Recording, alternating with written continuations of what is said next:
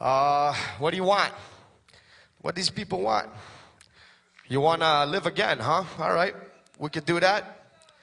We can bring it back. This one's from Serenity in Fire. It's called The Resurrected.